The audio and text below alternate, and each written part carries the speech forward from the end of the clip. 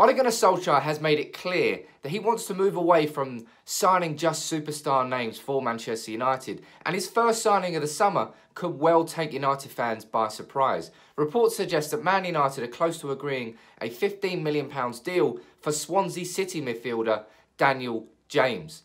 Now, who is Daniel James? What sort of player is he?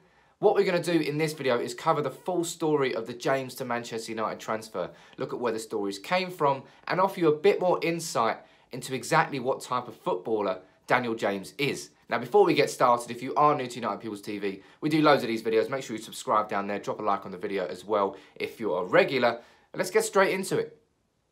Now, where are these reports coming from? It's Sky Sports who are pushing this main story about James to Manchester United. Now, the 21-year-old Welsh international was linked with United last week by the Daily Mail, but it's Sky Sports who are really pushing it now, saying that a deal is close to being agreed. But is a deal agreed? Absolutely not. Uh, you've got the BBC Simon Stone saying that while United do have interest, no deal is in place just yet. And that sentiment is shared by lots of other respected reporters. So no deal for James is completed just yet. But what is clear is United are in the market for him. Ole Gunnar Solskjaer himself was asked about the Daniel James rumours in his Cardiff pre-match press conference.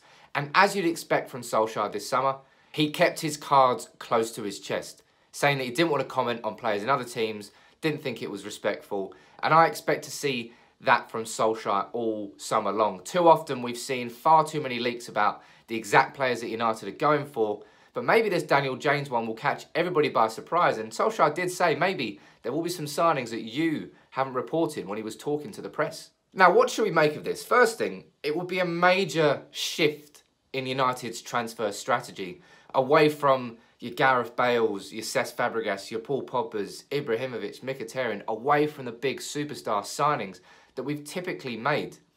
And more towards signing a young player who's exciting and a real prospect. And some United fans might turn their nose up at that. But you've only got to look at, say, Andy Robertson at Liverpool or James Maddison at Leicester for signings from the Championship that have gone on to be fantastic signings for their clubs. It's not all about superstar names. And I, for one, am excited at the idea that Man United will be moving away from that strategy which Ed Woodward made United's transfer policy for the last six years. And if there's one thing that really excites me about the idea of Man United genuinely being in for Daniel James, it's the fact that I know Ed Woodward would have absolutely nothing to do with it. He doesn't even watch a championship, let alone try and sign a 21-year-old Welsh winger who plays for Swansea. It's, it shows me that maybe United's scouting department is actually scouting because our scouts should be unearthing these gems, should be getting players in who've shown real prospects, might not be a household name yet, but can become a household name at Man United. Now, I'm not saying that Daniel James would be, and maybe he wouldn't be, but it's certainly less of a risk than spending 50, 60, 70 million on an established player that goes on to then flop at United because let's be honest, United's recent history, or history overall, of signing established top draw players and them going on to shine at United is a bad hit ratio. It really, really is. We've had so many superstars that have just not shone, and Alexis Sanchez is the clearest and most recent example of that. But if United really are in the market for Daniel James, Ed Woodward would have fuck all to do with it. And that alone is a reason to get excited about that because that would be a major shift for United that we've been asking for, that we've been calling for as fans, for Ed Woodward to move away from the transfers and for United to take more control of it. And it would be the sort of signing I would expect from Ole Gunnar Solskjaer. As I said, someone who's young, a real prospect, clearly got talent, but has a lot of room to grow as a player. That's a United signing. It really is. And I'm not saying he's going to be mustard. He might fail but it's the sort of signing I would have expected from Solskjaer. But as a side note, a question here, if we are in the market for Daniel James, then what's going on with the director of football who's supposed to be coming into United to take control of the transfers and the players we are going after? Indicates one of two things. Either one, Solskjaer and now Mike Phelan, who has been confirmed as the assistant manager, which was expected and a good decision, either they're in control of the transfers or United have already got their director of football behind the scenes but haven't announced anything and he's already been working. One of two things. But either way, it seems like United are making early moves in the market, and that is something that Solskjaer said he would do. But who is Daniel James? Daniel James is a 21 year old Welsh winger who was given his full Welsh debut by Ryan Giggs in November 2018, and he scored on his debut a fantastic goal. Now, crucially, he can play on the left and the right wing. With both feet, he's comfortable on his left and right foot. And that's a bit rare for a winger these days. They're always, especially when you look at United's wingers who are so heavily one-footed that they've always got to cut inside. But James is capable of going the inside and the outside of players. And the, the reason he's definitely capable is his pace.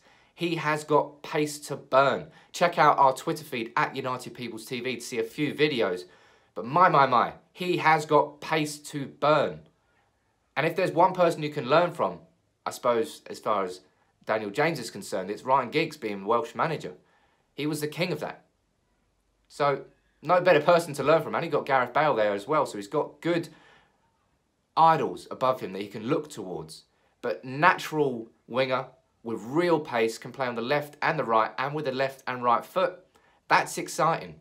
But how good is he? To offer a bit of insight into that, we've got a video here from Fraser Watson, who's a sports reporter that works for the Western Telegraph and the Milford Mercury Sport. And he's going to offer us a little bit of insight into exactly what type of player Daniel James is, his strengths and weaknesses, and why United fans maybe should get excited about him. What Manchester United will get if they sign Daniel James is a young player of enormous potential. I think he's exciting, he's a crowd pleaser, he can change games, he gets people on their feet and all the rest of it, and he's got an almost unique ability to sprint at a very high level continuously for a 90 minute period. The two FA Cup games against Brentford and Man City is what really put him in the shop window. There was the goal against Brentford, which went viral, and his performance against City, where he really stretched their back four all day long, was what caught the attention of the Premier League clubs. A move to United will be a risk for him though, because he's by no means the finished article. You know, he can be frenetic. He plays at 100 miles an hour. His game management, his composure still needs improving. He does sometimes miss the runs of others. He can frustrate you, but he's a tremendous prospect, as I said. And if United can harbour his talent and give him the game time he needs, and that's where it's going to be important because he's got learning to do and he'll need game time, then they could have a great signing on their hands. I mean, Daniel James, for me, is the sort of signings I want to see Ole Gunnar Solskjaer make. Yes, it may not work out if, if we do sign him, but at 15 million, it would certainly be a risk worth taking. And at 21, he's a young, homegrown, potential player who could grow into a world-class player. They're the sorts of signings I want to see United making because United are so much better at nurturing talent and growing them into world-class players than buying world-class players and just using them as is. In our history, that's what we've been better at. So this sort of signing would very much excite me. And as I said, the idea that Ed Woodward would have absolutely nothing to do with it is a major step in the right direction as far as I'm concerned.